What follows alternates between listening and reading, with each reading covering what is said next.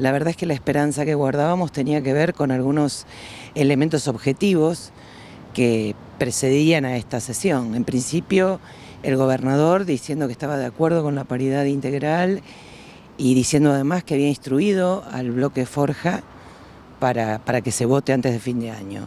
La proximidad del nuevo periodo electoral a partir del año próximo, eh, la existencia de cuatro proyectos firmados por 11 legisladores, eh, que si bien no habían tenido dictamen, de alguna manera insinuaban que, que esto podía suceder.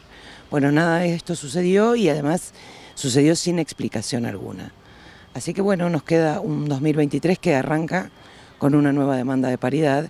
Si no será para esta elección, será para la próxima. Bueno, incluso legisladoras habían manifestado esto también durante el transcurso del año, en los últimos meses, con más fuerza. ¿De esto tampoco tuvieron ninguna alusión ayer?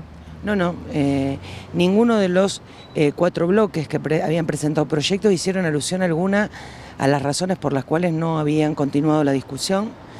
Tampoco hicieron alusión alguna, aún votando un proyecto de ley en el que, que declaraban obligatoria la capacitación en los Objetivos del Desarrollo del Milenio de Naciones Unidas, que entre sus elementos eh, tiene la paridad de género, es decir, una, una, serie de hechos contradictorios, silenciosos y poco explicables, que me parece que no somos nosotras, las militantes de la paridad, quienes debemos dar explicaciones, sino que quien deben darlas son quienes decidieron no darlas ayer en el recinto teniendo experiencia, conociendo desde adentro cómo es y acá en la provincia particularmente, ¿cuáles crees que fueron razones para eh, no seguir como estamos y sin modificar esta cuestión tan importante y que bueno, tanta lucha se viene teniendo hace años? A mí me parece que eh, en el siglo XXI y en el 2022 en particular, eh, a ningún dirigente político se le ocurre manifestarse en contra de la paridad porque no es políticamente correcto, porque se ha avanzado en el pensamiento en torno a la participación de las mujeres, con lo cual no lo van a hacer.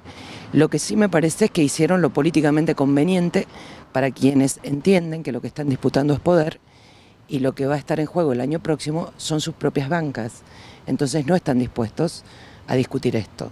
Es decir, no lo dicen en el recinto, pero sí lo dicen en las reuniones entre, en los entretiempos, utilizando términos futboleros.